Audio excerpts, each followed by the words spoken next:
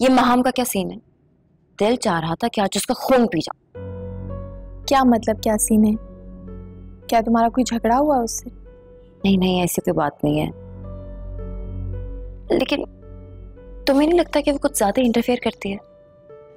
अरे नहीं सैरिश तुम्हें बताया तो था कि वो सारिम भाई की बहुत अच्छी दोस्त है और माहम के फादर अंकल के काफ़ी अच्छे दोस्त भी रहे हैं। तो काफ़ी क्लोज रिलेशनशिप है दोनों का। और माहम हमारी फैमिली का पार्ट भी है।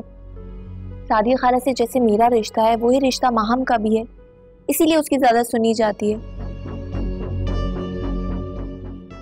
ये माहम सारिम को पसंद करती है क्या? अरे नहीं यार। अरे करती होती तो कब से दोनों की शादी हो चुकी होती? तुम खामा खा इनसिक्योर हो रही हो। और माहम की तुम बिल्कुल टेंशन ना लो।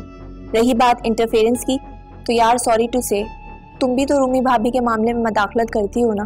लेकिन इसका मतलब ये तो नहीं है ना कि तुम उनका कुछ बुरा चाहती हो। तुम दोस्त किसकी हो? ऑफ़ कोर्स तुम्हारी। तभी तो समझा रही हूँ।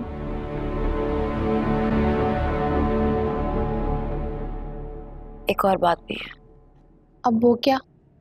सारे और मैं लंच के लिए गए थे आज। हाँ। मुझे लगा कि रिश्ते की बात के बाद से उनका एटीट्यूड मेरी तरफ़ थोड़ा डिफरेंट होगा। लेकिन मुझे उनकी तरफ़ से कोई स्पार्क ही नहीं फील हुआ मेरी तरफ़। तो सब कुछ इतना रूटीन में लेके चल रहे हैं। सैरिश ये बात मैंने तुम्हें पहले ही बता दी थी ना कि तुम्हारी और सारे भाई के नेचर में बहुत फ़र्क है। मगर अब सारे भाई कुछ ज़्यादा ही संजीदा रहने लगे हैं। लेकिन तुम्हें क्या मसला है? अब तो तुम कमिटेड हो। तो ये एटीट्यूड वैटीट्यूड छोड़ो। और सारे भाई को ज़्यादा से ज़्यादा समझने की कोशिश करो। तुम सही कह रही हो। मुझसे पहल करना वैसे ही मेरी फितरत के खिलाफ है। बेटा मोहब्बत की है। बहुत पापड़ बेलने पड़ेंगे सारे भाई को अपना दीवाना बनाने के लिए।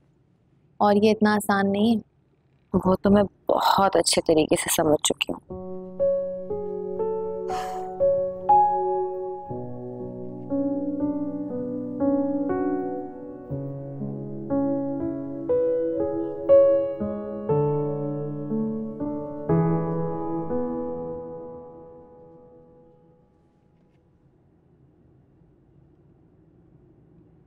क्या बात है मिस्टर सारे?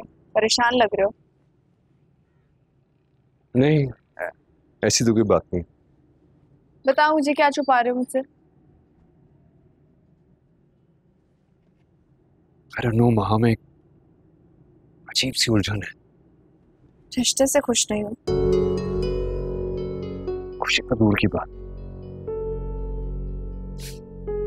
मुझे ना वो फीलिंग ही नहीं आ रही है। अभी मैं सैरिश के साथ लंच पे था I swear to god I did not feel anything सिर्फ़ गिल्ट हो रहा था मुझे।